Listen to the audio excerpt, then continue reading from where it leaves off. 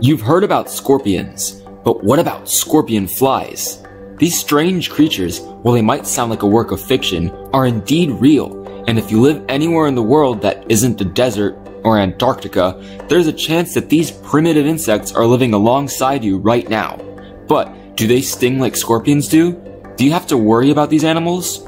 I'm Mikey Green, and today we're searching the upland forests of northern Georgia for these charismatic creatures to answer these questions and so much more about the incredibly unique biology of the scorpion fly.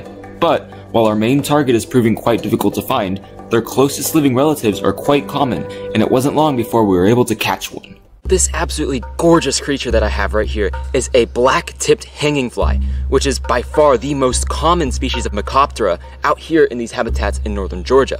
Mecoptera in general are pretty habitat specific, living in these kind of wooded areas that are very moist, with lots of leaf litter on the ground and lots of dense foliage and tree coverage. This kind of habitat can basically not be found anywhere near me in South Florida where I live, so I've never seen a single Mecoptera in my entire life.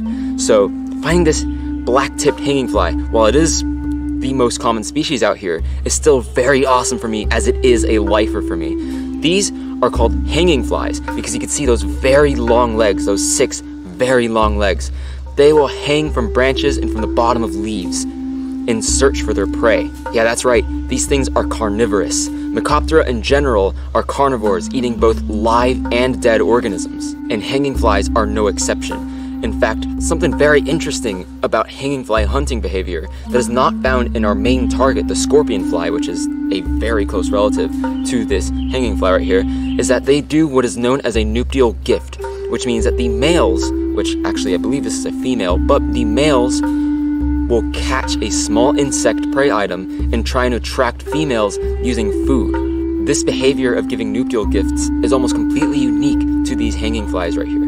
This black-tipped hanging fly is an absolutely gorgeous species with all yellow body and legs, clear wings with black tips. There are some more mottled species of hanging flies that can be found out here. However, even though this black-tipped hanging fly is the most common and probably the most expected to find out here, it is a gorgeous species. Alright, I think it is time to let this beautiful hanging fly go and keep looking for our main target, the amazing scorpion fly. Alright, back to scanning these expansive woods for scorpion flies. Unlike hanging flies which perch on the bottoms of twigs and leaves, scorpion flies prefer to sit on the top of broad leaves, maybe a few feet up from the forest floor. After a bit more scanning, I finally noticed one of these beautiful animals sat perfectly on an oak leaf. Alright children, this absolutely beautiful insect is exactly what we are out here in the wooded areas of northern Georgia out in search for.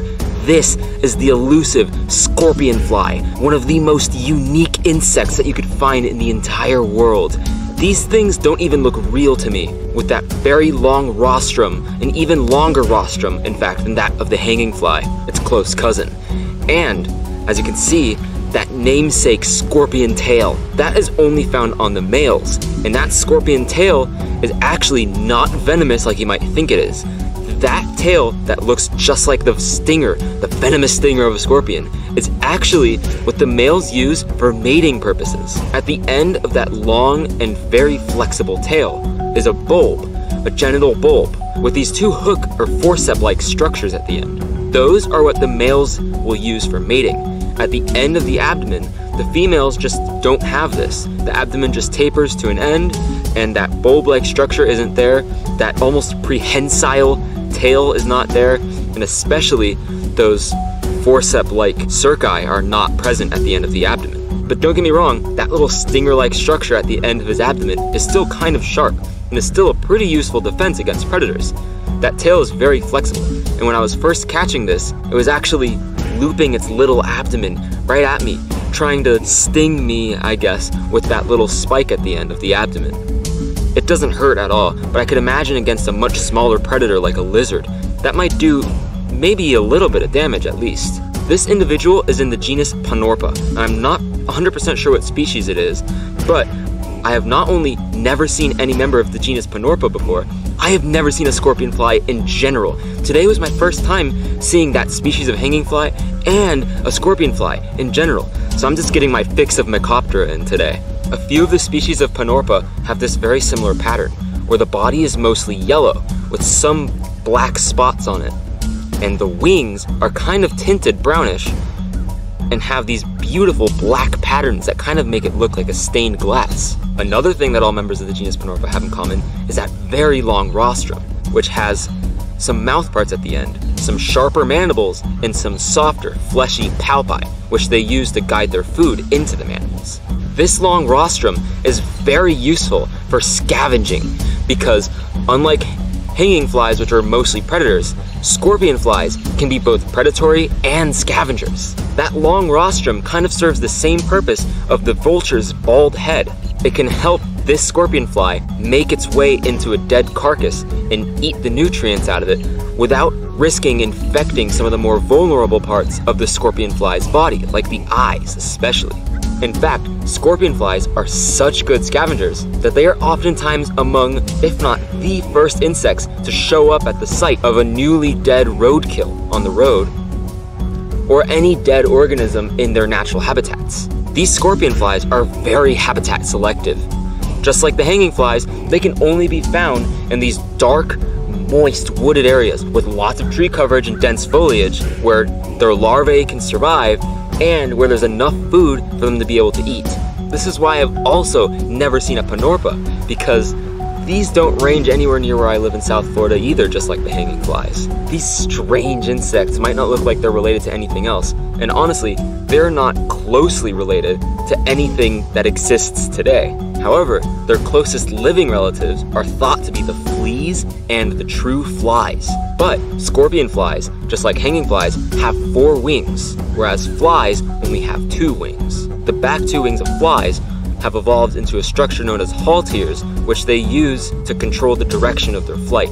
But scorpion flies do not have that. But that's not stopping them from absolutely flourishing in these environments, even though they are extremely rare, if at all present, in South Florida, and are an absolute gem to come by in central and northern Florida.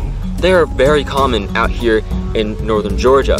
Mostly the hanging flies, but I love finally finding one of these amazing Panorpa scorpion flies. And I think that just for the jokes, I should let this thing sting me.